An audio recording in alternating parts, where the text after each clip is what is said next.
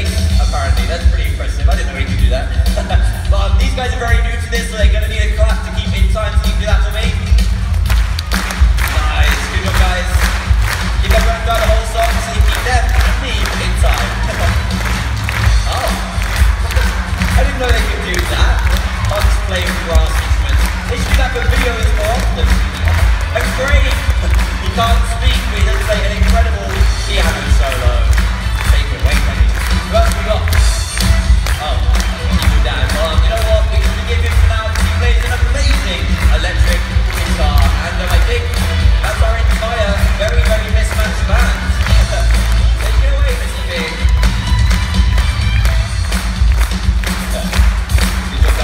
guys.